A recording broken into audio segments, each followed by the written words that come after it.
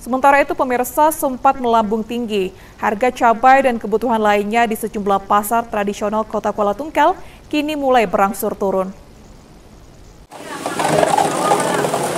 Harga kebutuhan bahan pokok jenis cabai mulai turun drastis dibandingkan sebelum lebaran atau ketika H 3 lebaran.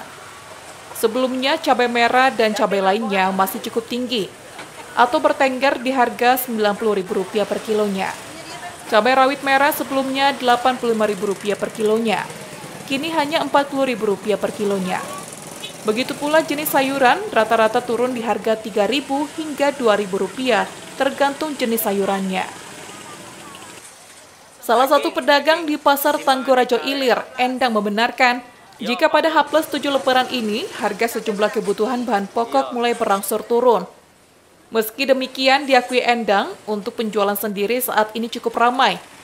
Sebab setelah libur panjang lebaran, khusus hari ini aktivitas kerja telah dimulai. Harga cabai sekarang 35, 35 ya? Iya. Turun tuh ya? Turunnya dari 90. Hmm. Ini sejak berapa hari kak? Sejak tiga hari. Tiga hari ya? Iya. Kalau kayak jenis-jenis cabai lain?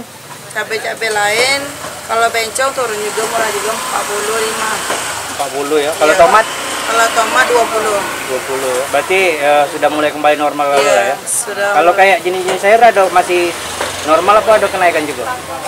Sudah turun semua? Sudah turun semua kemarin mahal, sempat mahal waktu habis lebaran kan. Sekarang sudah sudah normal lah. Sudah normal lah iya, iya. ya. Selain itu diakui Endang, momen dan setelah lebaran, tentunya di sini tidak dapat terbendung atau seakan menjadi tradisi. Sebab ketika kebutuhan masyarakat untuk membeli bahan pokok cukup banyak, sehingga membuat stok atau pasukan sedikit. Tak hayal harga kebutuhan pokok dan kebutuhan lainnya melejit naik, terkhusus kebutuhan masyarakat untuk menu memasak lebaran. Surya Kurniawan, Cek TV, melaporkan.